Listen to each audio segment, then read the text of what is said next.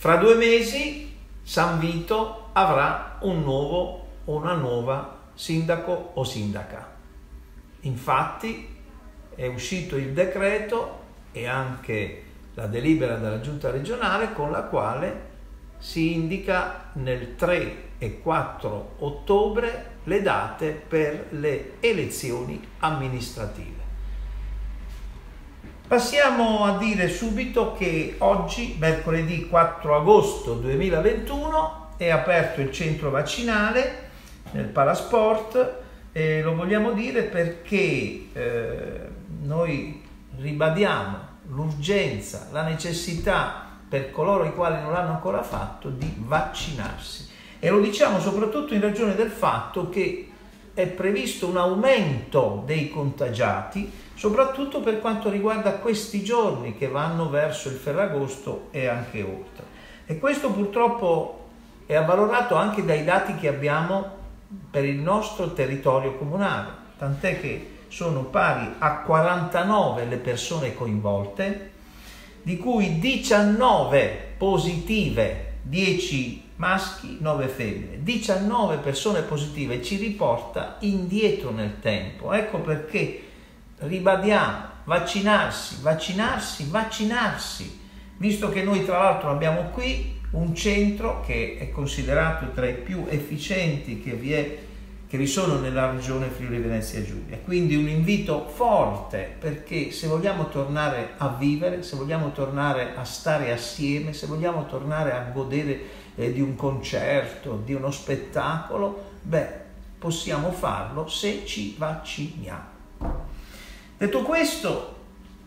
quest'oggi, mercoledì 4 agosto, nelle gradinate del castello alle ore 21, riprende la uh, rassegna tra la storia e la gente. Oggi eh, voi sapete che la rassegna di quest'anno antepone al verbo ri e quindi questa sera nascere che rinascere con due storici, Roberto Gargiulo e Deborah Coppola,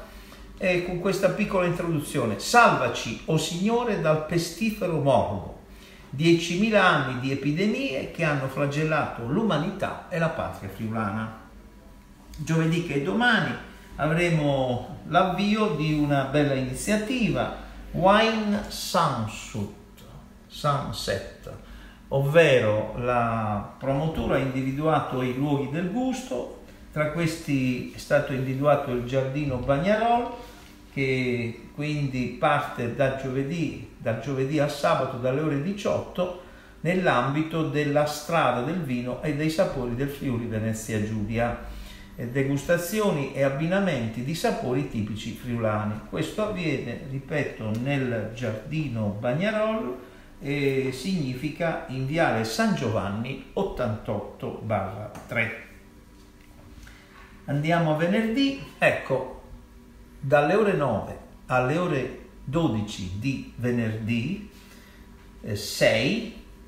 qui in sala consiliare, accanto alla sala consiliare, nella sala tecnica, ci sarà la possibilità per coloro i quali hanno difficoltà a scaricare eh, il messaggio che ricevono dal Ministero della Salute sul proprio telefonino, il certificato verde, il passaporto verde, il Green Pass, viene fatto da personale volontario che vi sarà a disposizione. Allora, ripeto, venerdì 6 come venerdì scorso e come i prossimi venerdì dalle ore 9 alle ore 12 la possibilità di eh, poter vedersi scaricare il passaporto verde per coloro i quali vengono muniti della tessera sanitaria e che hanno ricevuto il messaggio da parte del Ministero della Salute. E detto questo, venerdì sera si avvia la rassegna del teatro amatoriale a cura dell'associazione Estragone in piazzetta Statron alle ore 21, in caso di maltempo si va nell'adiacente Auditorium Zotti, con uno spettacolo simpatico, Betoneghe Senasse Nosse d'Eventa, a cura del Teatro delle Arance di San Donato di Piave, ore 21, piazzetta Staton di venerdì 6.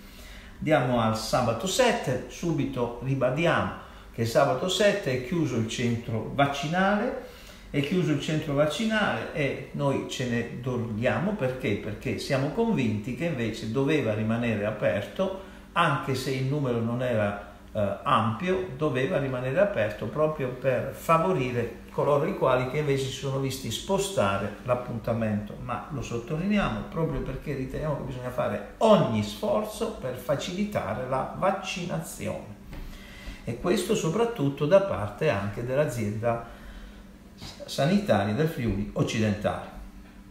Domenica è la giornata del sacrificio del lavoro italiano nel mondo in memoria della tragedia di Marsinello. Domenica 8 agosto 2021 noi celebreremo questa giornata alle ore 11.30 con una deposizione della corona del monumento che abbiamo ai caduti sul lavoro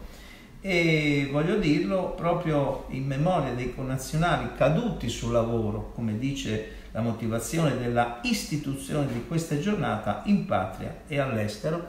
proprio per quello che per noi significa l'articolo 1 della Costituzione. È un momento di particolare riflessione per quanto riguarda coloro i quali sono dovuti andare all'estero e magari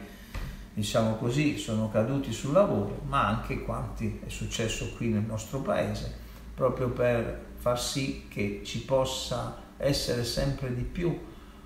tutto ciò che serve per fare in modo che questi infortuni non abbiano ad avvenire. Anche in questi giorni in altre parti del paese abbiamo avuto tragedie e questo lo ricordiamo